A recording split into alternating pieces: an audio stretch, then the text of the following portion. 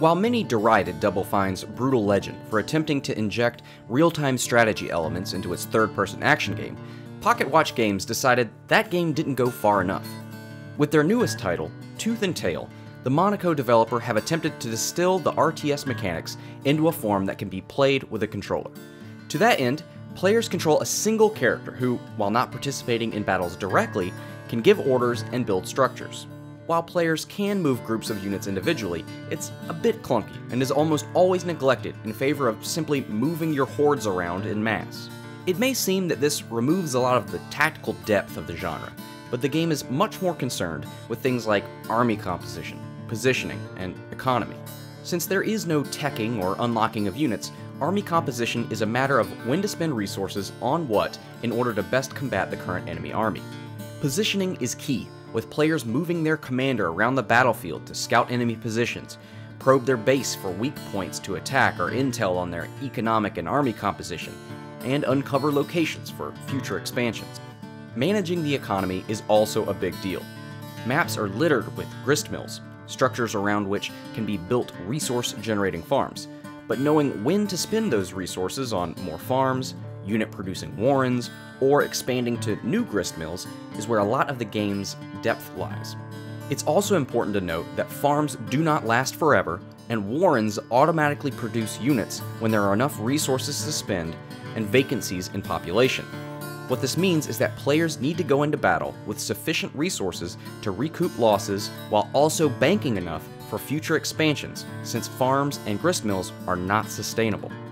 The problem is that the game does a poor job of communicating incoming resources, when farms will be depleted, outgoing resources for unit production, and even what order those units will be produced in. This poor communication is a bit of a theme with Tooth and Tail, the map does a poor job of communicating points of interest. The art style does a poor job of communicating passable terrain. The unit descriptions do a poor job of communicating what those units actually do. So on and so forth. The campaign is there, ostensibly, to teach players the mechanics, but it suffers from the same lack of communication the rest of the game does.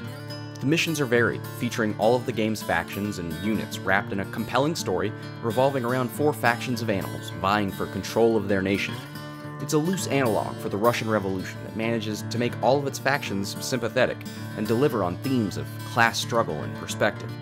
Unfortunately, it suffers from an appalling random map generation system, which can create drastic swings in mission difficulty based on what map seed you get. The fluctuation of the map every time you restart a mission makes any sort of planning nearly impossible, as the strategies that may have worked on the map you just played may not on the new one. What often results is restarting a mission until you get a favorable map seed. Multiplayer is a breath of fresh air by comparison. It benefits from a consistency of objective and a more symmetrical map generation. Match times are generally quick, which lends itself to experimentation with different units, build orders, and strategies. As long as there is a community there to support it, multiplayer is easily the most compelling part of the package. Tooth and Tail has a lot going for it. It has a unique design, a nice, albeit occasionally obtrusive aesthetic, a complex world with weighty themes, and a fresh and enjoyable multiplayer component. The problem is that the campaign, the half of the game which should probably prepare players for that enjoyable multiplayer, is a gauntlet of poorly illustrated mechanics and frustrating design decisions. Those looking for a complete package, something more than a decent multiplayer experience, should turn tail and look elsewhere.